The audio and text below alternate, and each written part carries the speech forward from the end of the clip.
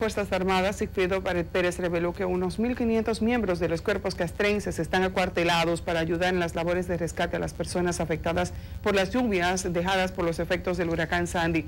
Pared Pérez indicó que la mayoría de los que están fuera de sus cuarteles son en la región sur del país, donde las inundaciones provocaron mayores daños.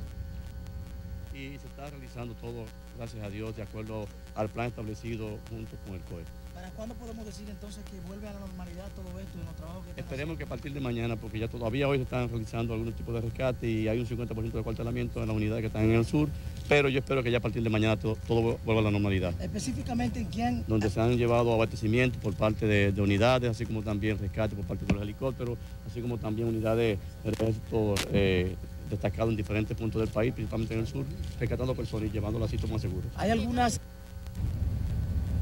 Miles de personas en todo el país han sido desplazadas a casas de amigos y familiares por los efectos de Sandy que generó aguaceros de consideración en nuestro país.